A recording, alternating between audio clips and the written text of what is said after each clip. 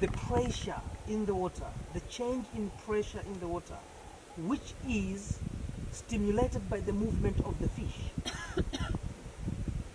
when that is picked, it causes the bird to actually close the bill. And that's how they snap at the fish. Sometimes the bird would use the foot steering method.